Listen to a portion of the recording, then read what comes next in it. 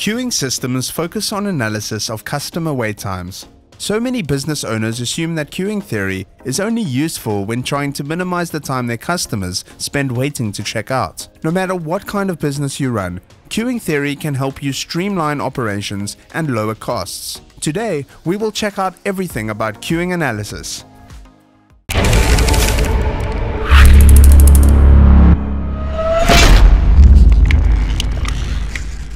Four.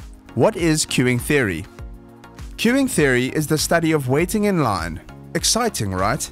Really though, queuing theory is a management of science that's all about finding the best ways to use limited resources. In every phase of business, there are steps that have to happen in order to produce, ship, stock, and sell an item.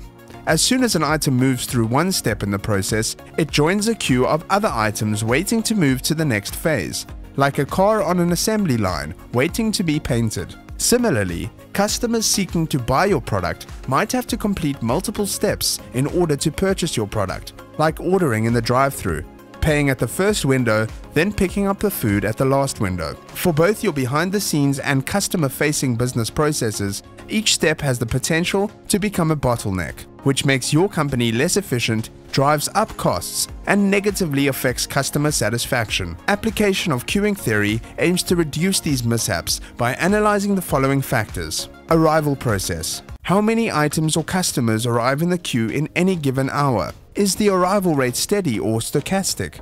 Also known as variable. What's the average time interval between arrivals? Does that vary depending on the time? Queuing behavior. Is there a risk of spoilage or damage if products are left in the queue too long? Does long queuing time affect costs? If analyzing customers, is there a chance that customers in line will leave if they wait too long? Service. What is the service time for this particular step? What are the rules for deciding which items or customers get serviced first? Example, first come, first served.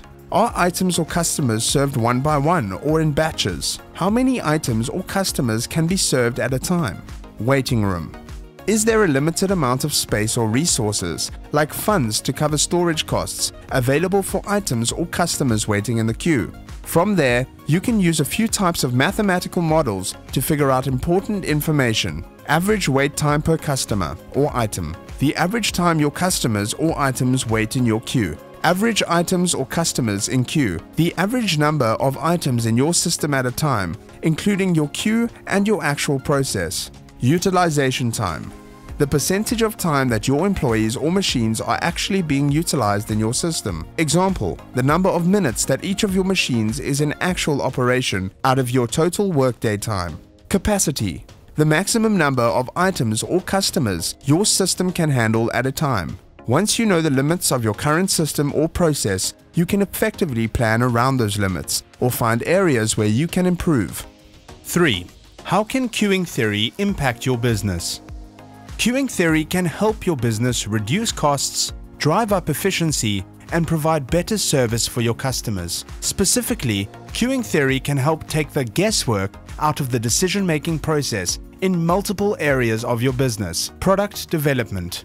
Queuing theory can help you accurately forecast lead time on new product orders by calculating the total time spent on each phase in the production process, including the ordering of raw materials. For manufacturing businesses, queuing theory can also be used to determine the most efficient use of floor space and equipment. Supply chain management. Applying queuing theory to your supply chain management can help you pinpoint bottlenecks in your shipping and warehousing. Once you know where those hangups are, you can implement solutions that speed up your fulfillment time, reduce storage space, and lower costs associated with shipping and storing your product. Inventory management. Queuing theory can help you forecast customer demand, which in turn helps you determine how much stock to keep on hand at any given time. Queuing theory can also help you when considering the best inventory management techniques for your business. Example, first in, first out versus last in, first out. Customer service. You can use queuing theory to determine the best balance of on-the-clock employees, equipment like cash registers, and queuing methods like multiple lines or windows that keeps your customers happy while minimizing costs. 2. Queuing theory in practice. Wondering how queuing theory can actually impact your bottom line? Here are a few business cases highlighting the effects of queuing theory on the operations and customer service models of various types of companies. Manufacturing Let's say your business manufactures thermometers and you receive orders from two different companies at once. Not only do you have to send each customer an estimate on how long it will take to complete their order, but you've also got to figure out the most profitable use of your limited systems and space. You use a queuing model to input the raw materials needed for each order, the average service time for each machine at each step in the thermometer assembly process, and the average number of goods going through each step in the phase. You find that the second order, while bigger, requires specialty materials that take longer to arrive. Based on this data, you may decide to move full steam ahead on the first order while you wait for extra raw materials on the second order. Then, once you've received the raw materials for the second order, you'll devote two-thirds of your system resources to order number two, while the rest of your resources will finish completing order number one. By following this method, you minimize storage costs for both raw materials and finished goods, while ensuring both your customers receive their orders within an acceptable time frame. Wholesale. Your business sells silk flower arrangements to florists and department stores. You've designed a new product with multiple components, silk flowers and vases. Each component is manufactured by a different supplier, then shipped to an assembly service that combines the components to create the finished product. From there, the assembly service ships the finished products to your warehouse, where you repackage them for bulk sale to your customers. After inputting all relevant data in a queuing model, you realize it takes longer to manufacture the vases than it does the flowers. You also discover the assembly service produces fewer finished goods per day than the flower and vase suppliers. Based on this data, you decide to place multiple small orders with your flower and vase suppliers. You place the vase orders first, thereby ensuring the flowers and vases arrive at the assembly service facility simultaneously. Because the components arrive at the same time, you don't have to pay to store one component in limbo,